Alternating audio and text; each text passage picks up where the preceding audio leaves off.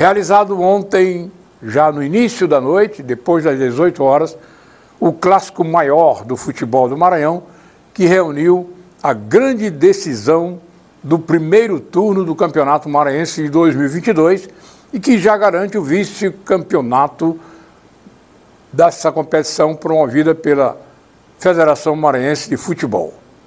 Moto Clube de São Luís de Sampaio Correia, bons momentos desse jogo para você acompanhar a partir de agora no ar.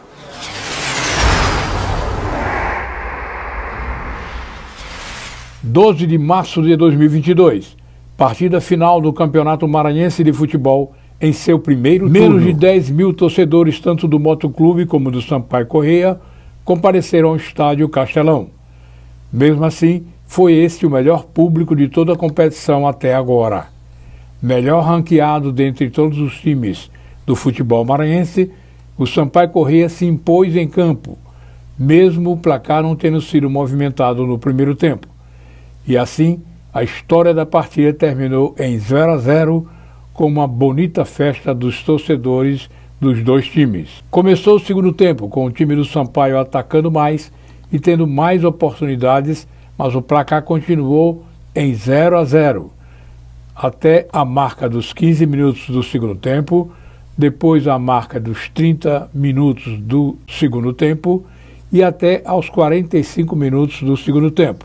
O juiz deu um acréscimo de 6 minutos e na última volta dos ponteiros, Mateuzinho caiu para a direita no ataque boliviano e cruzou para a finalização certeira do atacante Heron, que havia acabado de entrar. Placar final do jogo: Sampaio Correia já tem um e o Motoclube de São Luís. O Motoclube de São Luís entrou foi na taca!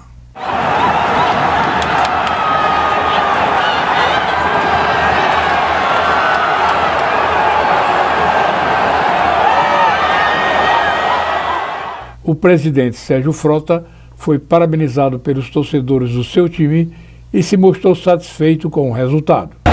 E o objetivo era esse, disputar as três competições mesmo, duas competições têm direitos é, televisivos, significa receita, no futebol a gente não tem hoje.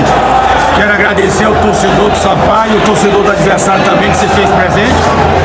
Parabenizar o Iglesias, né, a equipe dele, mesmo com dificuldade de e deu muito trabalho para o Sampaio, jogou numa, numa linha baixa, nós tivemos mais posse de bola, tivemos mais chances, mas eles venderam o cara a derrota.